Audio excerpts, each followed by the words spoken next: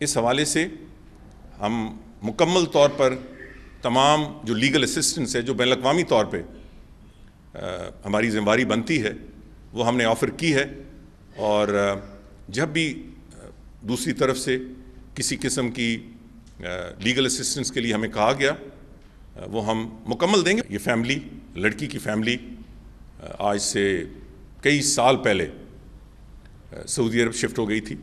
ان کا تعلق ڈیرہ غازی خان سے ہے، مگر یہ بیس پچیس سالوں سے باقاعدہ طور پر وہاں انہوں نے سکونت اختیار کی ہوئی ہے۔ ان کی تمام فیملی وہاں ہے۔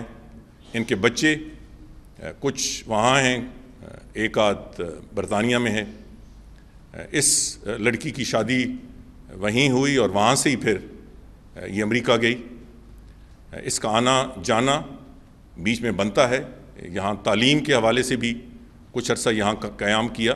کسی ایک مسلمان کے یا پاکستانی کی غلط کاری کی وجہ سے آپ ڈیڑھ ارب مسلمانوں کو مر الزام تو نہیں ٹھہرا سکتے۔ ایک شخص یا ایک خاتون اگر پاکستان میں ان کی کوئی نیشنلٹی ہے سابقہ اور اس نے غلط واردات کی ہے تو آپ پورے پاکستان کو سمور الزام نہیں ٹھہرا سکتے۔